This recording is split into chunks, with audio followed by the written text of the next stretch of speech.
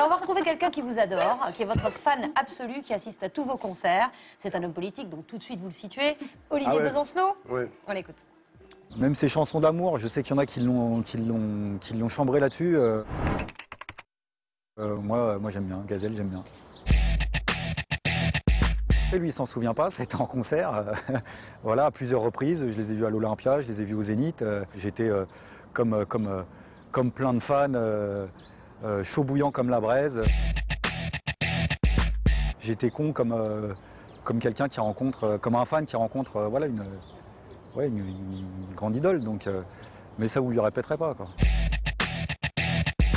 Qu'est-ce qu'on attend pour foutre le feu? Sûrement d'être un peu plus nombreux. Je pense que ça résume un petit, un petit dilemme du moment, entre autres.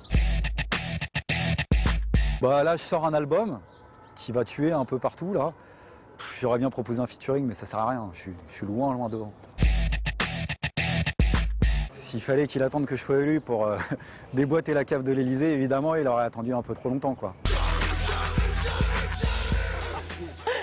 C'est vrai d'ailleurs qu'on en a beaucoup parlé de ce dîner euh, à l'Élysée. Euh, vous en gardez un bon souvenir, Joël? Tout à fait, euh, ça va, c'était Ouais, très doux, bien. non? Ouais. non, Ouais. il était bien, euh, le digestif était bon, la conversation il était, euh, était au rendez-vous aussi. Et Pierre, vous confirmez vous qui Non, non, je confirme, c'était intéressant parce qu'il y avait Cédric Clapiche, il y avait Lola Doyon qui est en train de tourner ses premiers films. euh, Dominique Bessner aussi. Et il y avait Dominique Bessner. Ah, quand Dominique parle, tout le monde est, c'est comme ça, tu vois. non, non, Président voilà. compris, président Ouais, compris. voilà, donc c'était voilà, on était un groupe d'individus, on échangeait. Mm. Et puis pour ceux que ça dérange, je me dis avec les impôts que je paye, je peux quand même aller voir les locaux quand même. Euh, voilà, C'était une journée du patrimoine pour moi. Voilà quoi. Bon.